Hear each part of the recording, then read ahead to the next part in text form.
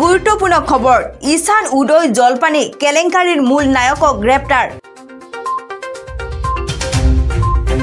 বৰপেটা আৰক্ষীয়ে গ্ৰেপ্তাৰ কৰে মিনহাজুল হক নামৰ মূল অভিযুক্তক।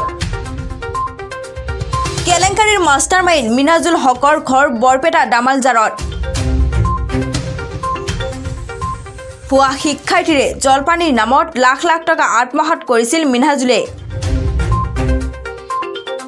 আৰক্ষীয়ে ধৃত মিনাজুলৰ পৰা আঠাইছটা বেংকৰ পাছবুক ছয়খন চেকবুক পেন কাৰ্ড ভোটাৰ কাৰ্ডসহ দুটি মোবাইল উদ্ধাৰ কৰে। ইতিমধ্যে এই কেলেংকাৰীত জড়িত মুঠ চাৰিগৰাকী অভিযুক্তক গ্ৰেপ্তাৰ কৰিবলৈ সক্ষম হৈছে বৰপেটা আৰক্ষী। কেলেংকাৰীৰ মাষ্টাৰ মাইণ্ড মিনাজুলে পাতিছে ৰাজ্যজুৰি এই কেলেংকাৰীৰ জাল।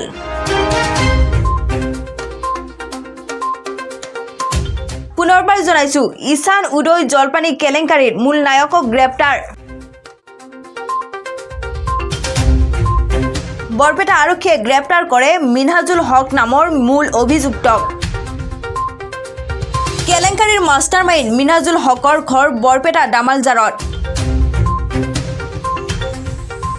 ভুৱা শিক্ষাৰ্থীৰে জলপানীৰ নামত লাখ লাখ টকা আত্মসাত কৰিছিল মিনহাজুলে। আৰক্ষীয়ে ধৃত মিনাজুলৰ পৰা আঠাইছটা বেংকৰ পাছবুক ছয়খন চেকবুক পেন কাৰ্ড ভোটাৰ কাৰ্ডসহ দুটি মোবাইল উদ্ধাৰ কৰে। ইতিমধ্যে এই কেলেংকাৰীত জড়িত মুঠ চাৰিগৰাকী অভিযুক্তক গ্ৰেপ্তাৰ কৰিবলৈ সক্ষম হৈছে বৰপেটা আৰক্ষী। কেলেংকাৰীৰ মাষ্টাৰ মাইণ্ড মিনাজুলে পাতিছে ৰাজ্যজুৰি এই কেলেংকাৰীৰ জাল। আমাৰ ইয়াতে বৰপেটা যোৱা বছৰ একৈছৰ ফেব্ৰুৱাৰী মাহৰ ন তাৰিখে এটা কেছ ৰেজিষ্টাৰ হৈছিলে ঈশান উদয় স্কলাৰশ্বিপৰ ওপৰত। এইটো আপোনাৰ ই ডি চি স্কলাৰশ্বিপ হয় আৰু এই স্কলাৰশ্বিপটো এটা স্কেম হৈছিলে।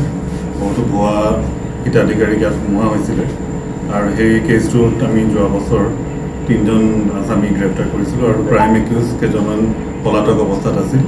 আৰু আমি পৰহি আমি তাৰে এজনক আমি এৰেষ্ট কৰিবলৈ সক্ষম হৈছোঁ।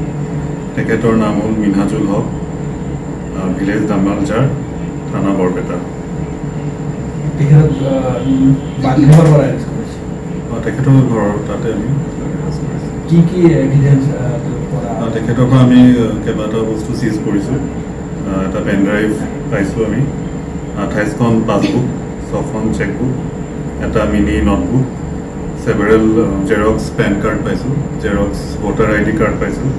দুটা মোবাইল আৰু আমি ইনিচিয়েল প্ৰিলিমিনাৰী ইণ্টাৰোগেশ্যনত গম পাইছোঁ যে তেওঁৰ নেটৱৰ্কটো অকল বৰপেটাতে সীমাবদ্ধ নহয় সমূহ অসমতে এইটো তেওঁৰ নেটৱৰ্কটো আছিল। ইনিচিয়েলি তেওঁ পৰা গম পাইছোঁ যে তেওঁ শিৱসাগৰ ধেমাজি জিলাতো তেওঁ এই স্কেমটো কৰিছে বুলি কিমান মান টকা স্কেমটোতো কেইবা হেৰি আপোনাৰ মাহে মাহে এটা সোমায়।